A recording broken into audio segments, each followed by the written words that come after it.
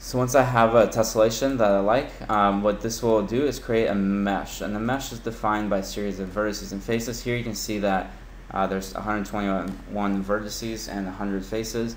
But in this state, uh, I can't really have access to this geometry, right? If I bake this into my Rhino scene, um, I have it here, but um, I can't really get access into those individual faces.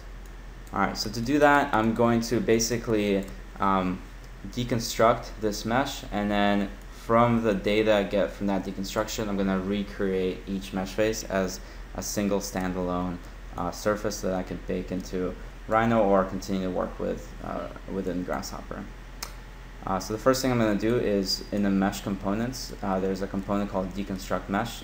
I'm going to create one of those, pass the mesh into that, and out of that I'm going to have a basic list of all the vertices, a list of uh, all the faces, a list of colors if I have color information in my mesh, uh, and the normals of each vertex of the mesh. Okay, and what I want to do here is basically use this information to recreate um, uh, the mesh faces while paying attention to how this data is organized in the outputs.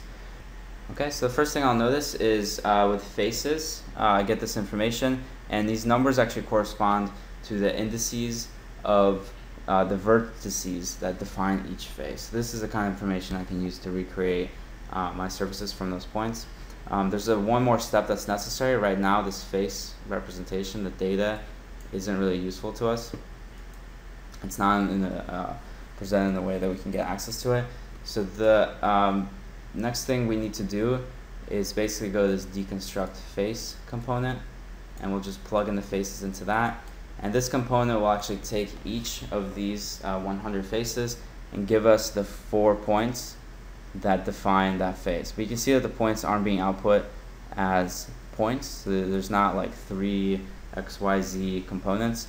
Uh, there's just numbers. And these numbers again relate to the index actually in this list of vertices where each vertex uh, is located. So what we can do now is actually go through this list of vertex data and pull out the right points according to these uh, indices. And we can do that with the list uh, item component and create one of these. And list item will let you pull out uh, certain uh, values within a list by specifying its index or its position in the list. So if we treat all of our vertices as the list, Again, these are giving us the index locations of the points we want in that list. So we can just plug in A here. So this will give us a list of 100 uh, points and each of these points are the first point in each of the 100 faces of the mesh. So now to get all four points for each of the mesh faces, we can just duplicate this list item.